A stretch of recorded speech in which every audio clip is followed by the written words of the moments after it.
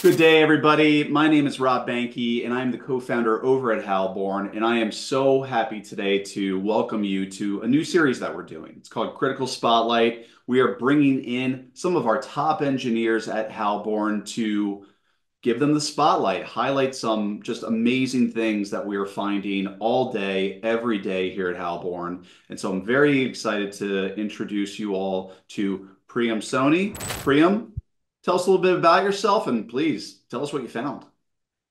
Thanks, Rob. So we found a critical in a recent code base audit and it was related to ERC 1155s. So there's a fact about ERC 1155 is that whenever you transfer a token to a receiver, the receiver has the control of the call before the amount is subtracted. Okay. And the thing was that if I have given you permit of 100 tokens with my balance being 1000, what you could do is you could transfer out those tokens to your controlled address and that address will call back to the transfer function again.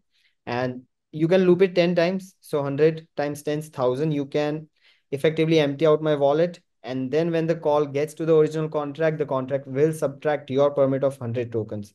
So that way, by using the permit of 100 tokens, you have stolen all my balance. And this was a critical issue that we found, and it could lead to the complete protocol being useless because hackers could steal all the money. We're highlighting today a reentrancy attack, right? Like in uh, as far back as in 2016, the infamous Ethereum DAO hack, that was a reentrancy attack. So how is how are these things still happening, and what can we what can we teach or tell anybody writing code on open source, you know, public chains to to to help them stay safe out there? Yeah. So first and foremost, there are some standard practices that you can follow to avoid reentrancy. One of those is following the checks effects interactions pattern. So that's the first. Second is using the static analysis tools to uh, find any reentrancies that you missed. Okay.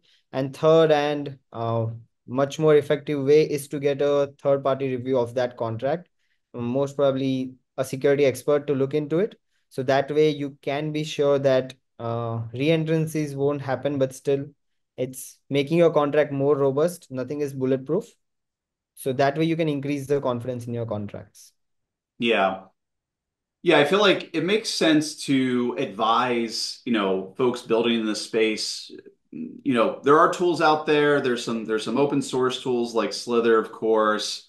Um, you know, we're we're many many years away from anything AI related ever being able to find something like like this. I feel. I mean, how many days does this take you to actually find? This wasn't a simple reentrancy, right?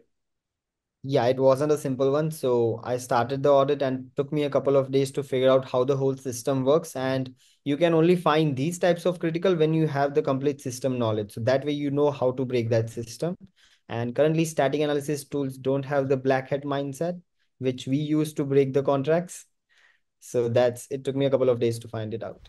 So, you know, for those listening out there, things that we're always advising, you know, of course, you know, even if you're not a security expert, you can still download the open source software that is Slither. You can still run some reports or, you know, run and generate some reports. You can still, there will be a litany of false positives for sure, as, as Priyam has, has said before.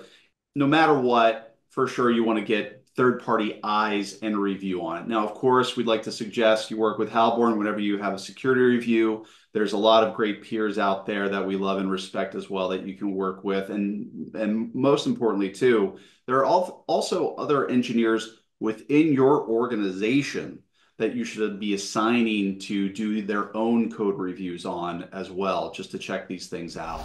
So with that being said, Priyam, thank you so much for this quick highlight on a recent uh, recent critical. And thank you so much for your time. And thank you all for watching today on today's Halborn Critical Spotlight.